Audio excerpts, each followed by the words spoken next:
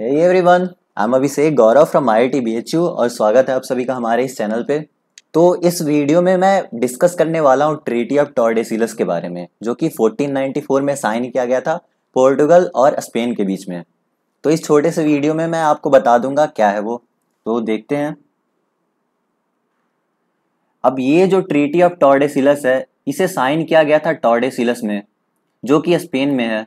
और ये साइन किया गया था सात जून 1494 को, यानी सेवेंथ जून 1494 में इसे साइन किया गया था। अब ये साइन किया गया था स्पेन एंड पोर्टुगल के बीच में। तो इन दोनों के बीच में एक ट्रीटी साइन किया गया था टोर्डेसिलस में, जो कि 1494 में साइन किया गया था।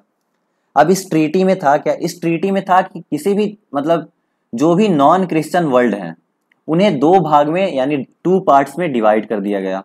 एक इमेजिनरी लाइन के थ्रू और ये जो इमेजिनरी लाइन है, वो एटलांटिक ओशियन से होके गुजर रही थी, जो कि केप वर्डे आइलैंड से लगभग 1300 मील दूर, यानी वेस्ट में था। तो अब इसे हम मैप में एक बार देखते हैं। तो यहाँ पे आप देख रहे होगे, ये है केप वर्डे आइलैंड और इस केप वर्डे आइलैंड से वेस्ट में 1300 मील दूर अगर जाएँ तो यहाँ पे आपको एक इमेजिनरी लाइन ये दिख रहा होगा। ये जो इमेजिनरी लाइन है। अब इस इमेजिनरी लाइन से वर्ल्ड को टू पार्ट्स में डिवाइड कर दिया गया था। मतलब नॉन क्रिश्चियन वर्ल्ड जो भी है, उन्हें टू पार्ट्स में डिवाइड कर दिया गया था।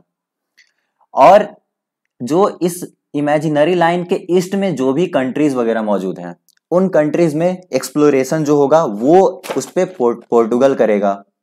यानी उन कंट्रीज़ पे एक्सप्लोरेशन और वहाँ पे उनका मतलब पोर्टुगल का आधिपत्य होगा। वो वहाँ पे राज कर सकते हैं, जो भी वहाँ से मिले। और इसके वेस्ट में, यानी इस डायरेक्शन में वेस्ट डायरेक्शन में वेस्ट में जो भी कंट्रीज़ होंगे, जो भी नॉन क्रिश्चियन वर्ल्ड होंगे, उन पे इस स्पेन का हक होगा। स्पेन वहाँ पे एक्सप्लोरेशन करेगा। तो ट्रीटी ऑफ़ टॉर्डेसिलस में यही था कि वर्ल्ड को मतलब नॉन क्रिश्चियन वर्ल्ड को टू पार्ट्स में डिवाइड कर दिया गया। एक इमेजिनरी लाइन के थ्रू और ये इमेजिनरी लाइन एटलांटिक ओशन से पास कर रहा है। और ये केप वर्डे आइलैंड से लगभग 1300 मील दूर था। जहाँ पे ये जो इमेजिनरी लाइन है, उसके ईस्ट में जो भी नॉन क्रिश्चियन वर्ल्ड होंगे, वहाँ पे एक्सप्लोरेशन पोर्टुगल करेगा और उस पर पोर्टुगल का ही आधिपत्य होगा।